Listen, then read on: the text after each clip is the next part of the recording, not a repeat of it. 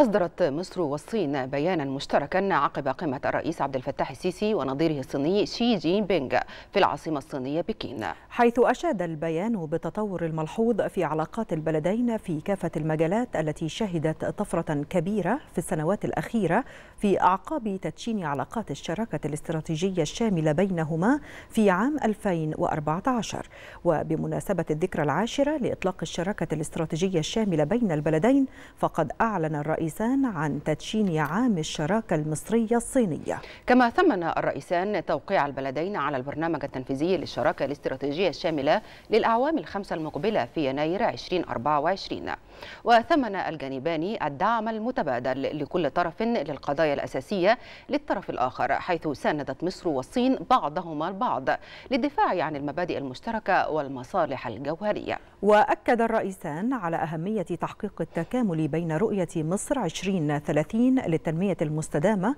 مع مبادرة الحزام والطريق. وثمن الرئيسان التعاون المثمر بين مصر والصين في إطار منتدى التعاون العربي الصيني ورحبا بمخرجات القمة العربية الصينية الأولى في الرياض.